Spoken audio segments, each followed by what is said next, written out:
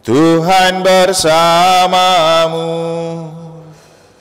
dan bersama rohmu. Inilah Injil suci menurut Yohanes. Dimuliakanlah Tuhan. Sekali peristiwa Filipus bertemu dengan Nathanael dan berkata kepadanya Kami telah menemukan dia yang disebut oleh Musa dalam kitab Taurat dan oleh para nabi yaitu Yesus anak Yusuf dari Nazaret. Kata Nathanael kepadanya, Mungkinkah sesuatu yang baik datang dari Nazaret? Kata Filipus kepadanya, Mari dan lihatlah. Melihat Nathanael datang kepadanya, Yesus berkata tentang dia, Lihat, inilah seorang Israel sejati. Tidak ada kepalsuan di dalamnya. Kata Nathanael kepada Yesus, Bagaimana engkau mengenal aku? Jawab Yesus kepadanya, Sebelum Filipus memanggil engkau, aku telah melihat engkau di bawah pohon arah. Kata Nathanael kepadanya, Rabi, engkau anak Allah, engkau raja orang Israel. Yesus menjawab katanya, Karena aku berkata kepadamu, aku melihat engkau di bawah pohon ara, maka engkau percaya? Hal-hal yang lebih besar daripada itu akan engkau lihat. Lalu kata Yesus kepada kepadanya, Aku berkata kepadamu, sesungguhnya engkau akan melihat langit terbuka dan malaikat-malaikat Allah turun naik kepada anak manusia.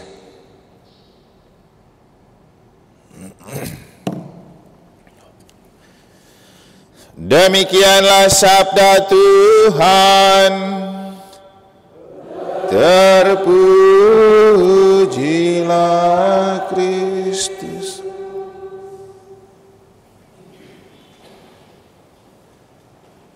Mari dan lihatlah. Para suster, Bapak Ibu, Saudara-saudari, adik-adik dan anak-anak sekalian yang saya kasihi dalam Tuhan. Mari dan lihatlah adalah ungkapan yang diungkapkan oleh Filipus yang sudah mengenal Yesus kepada Nathanael yang belum mengenal Yesus. Ajakan Filipus untuk Nathanael bertemu dengan Yesus memiliki makna bahwa hidup dengan punya rahmat itu baik. Tetapi jauh lebih baik kalau kita menjadi perantara rahmat Tuhan untuk orang. Kita semua ingin dirahmati dan saya rasa itulah mengapa kita perlu banyak berdoa, ikut misa, memelihara hidup rohani supaya kita penuh rahmat. Maria penuh rahmat karena ia hidup dengan selalu membuka hati kepada Tuhan dan membiarkan Tuhan menjadikan apa yang Tuhan kehendaki. Hidup penuh rahmat sama dengan hidup yang diselimuti dan dimahkotai surga seperti yang kita dengar dalam khotbah kemarin di Gua Maria.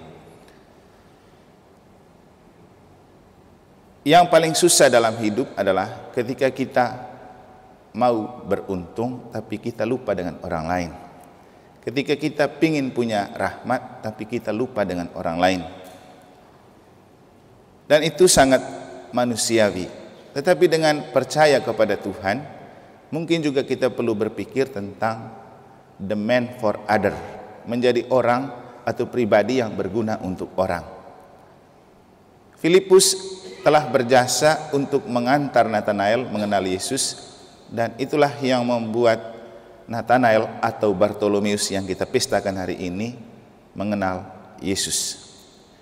Dia sebelumnya meragukan Yesus karena dia berpikir dan seperti pemikiran orang Israel pada waktu itu dari kampung Nazaret tidak mungkin akan ada seorang nabi dan orang hebat. Maka ketika dia mendengar berita dari Filipus bahwa ini orang Nazaret, lalu dia mengatakan, "Adakah sesuatu yang baik datang dari Nazaret?" Keraguannya dijawab dengan membawa dia bertemu dengan Yesus dan begitu bertemu, Yesus yang lebih dahulu menyapa dia. Sebelum engkau datang ke sini, aku sudah melihat engkau di bawah pohon ara. Dia kaget. Artinya Bapak Ibu, kalau mau menjadi pengikut Kristus, jangan dengar kata orang, opini publik, atau belajar di medsos. Kalau mau mengenal siapa itu Yesus untuk kita, dan mungkin juga Yesus akan menyapa kita seperti menyapa Nathanael dan atau Bartolomeus, datanglah bertemu dengan Yesus dalam misa. Karena kita tidak punya kesempatan dan media lain untuk berjumpa dengan Yesus kecuali misa. Jadi misa itu saat di mana kita berjumpa dengan Tuhan. Kata Romo Sintus waktu menjelaskan liturgi, dalam misa mulai ketika kita memasuki liturgi sabda, kita diberi kesempatan untuk kita mendengar Tuhan berbicara lewat sabda. Memasuki liturgi Ekaristi, Tuhan mendengar kita berbicara lewat doa-doa kita. Jadi misa itu kesempatan kita berdialog dengan Tuhan. Kita dengar Tuhan, Tuhan dengar kita. Di tempat kerja tidak ada itu. Karena kita fokus pada pekerjaan. Jadi dalam misa lah kesempatan terbaik kita bercakap-cakap dengan Tuhan. Kalau betul kita datang dengan hati yang tulus. Ketika selesai misa, kita diutus. Artinya apa? Misa memberikan kita rahmat dan itulah yang kita bawa sebagai oleh-oleh untuk orang berbagi rahmat dan berkat yang kita terima dalam misa. Untuk itulah kita datang. Mungkin konkretnya begini, kita yang sudah mencintai misa harian karena merasakan apa artinya misa harian untuk hidup dan keluarga, itu yang diseringkan dan dibagikan kepada orang. Ayo coba ke misa. Lihat saja kami. Kami juga menemukan hidup sepertimu. Tapi dengan ikut misa kami jadi begini misalnya. Itulah yang dimaksud dengan hidup dengan menjadi perantara rahmat. Membawa rahmat Tuhan kepada orang, membawa Tuhan untuk lebih dekat kepada Tuhan. Dan itu jugalah yang kemudian dilakukan oleh Nathanael ketika dia sudah bertemu dengan Yesus. Ia lalu menjadi rasul yang kemudian banyak mewartakan kebenaran tentang Yesus, terutama di Armenia. Jadi orang di Armenia lalu menganggap dia sebagai seorang rasul hebat hidup untuk menerima berkat dan rahmat dan hidup untuk menjadi berkat dan rahmat untuk orang. Dalam bacaan pertama kita juga mendengar cerita tentang penglihatan Yohanes yang berjumpa dengan malaikat. Di bagian akhir Injil, Yesus bilang apa kepada Nathanael? Aku berkata kepadamu, sesungguhnya engkau akan melihat langit terbuka dan malaikat-malaikat arah turun naik kepada anak manusia. Dan dalam bacaan pertama itu dibuktikan dengan penglihatan Yohanes di mana ada malaikat datang memberitahukan tentang sebuah kenyataan yang dinamakan surga. Dan dalam hidup, di mana kita melihat malaikat itu datang menyapa kita, turun naik menghubungkan kita, waktu rekoleksi mesdinar dan waktu pelantikan mesdinar, saya katakan kepada kita, mesdinar adalah simbol kehadiran malaikat malaikat yang selalu turun naik menghubungkan kita dan doa kita di altar ini dengan surga. Maka kenapa saya bilang misa itu perjamuan surga? Karena kita merayakan bersama malaikat Tuhan. Nanti Bapak Ibu di privasi di bagian akhir kan ada seruan bersama para malaikat dan para kudus kami memuji dan memuliakan dikau dengan bernyanyi kudus kudus kudus. Jadi kita itu merayakannya dengan malaikat dan orang kudus. Kita tidak bisa ketemu mereka di kantor, di tempat kerja, di toko, atau di mana-mana, kecuali dalam misa. Jadi kalau mau hidup dalam surga, lagi-lagi teruslah mencintai misa. Yang penting percaya. Kalau tidak juga tidak ada gunanya dan sama saja. Hidup untuk menerima rahmat dan hidup untuk membagi rahmat. Mungkin itulah kata kunci yang dapat kita maknai dari dua cerita dalam bacaan pertama dan Injil dan juga yang perlu kita maknai dari Santo Bartolomeus Rasul. Akhirnya Bapak Ibu, kalau yang mencintai sepak bola, Di saat-saat terakhir ini yang paling heboh adalah cerita tentang Inter Miami, klub di mana Messi berada. Dalam tempo 29 hari, dia sudah mengubah Inter Miami menjadi sebuah klub yang disegani, mendapatkan satu trofi. Tadi saya nonton mereka semifinal lagi untuk satu piala yang lain lagi di Amerika dan melawan tim yang menjadi peringkat satu di sana. Selama ini Inter Miami itu peringkat ke-15. Jadi dari segi kualitas mereka harusnya kalah, tapi dengan kehadiran Messi mereka tadi menang. Dan cara menangnya juga sangat-sangat orang lalu mengomentari bahwa Messi itu malaikat sepak bola. Karena apa? Sampai menit ke-78 mereka sudah tertinggal 2-0.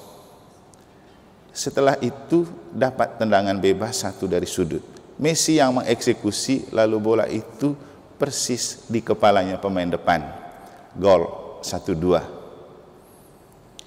Ketika sudah memasuki menit ke-90, lagi-lagi Messi bawa bola dari tengah dan lagi umpan ke pemain depan, gol lagi.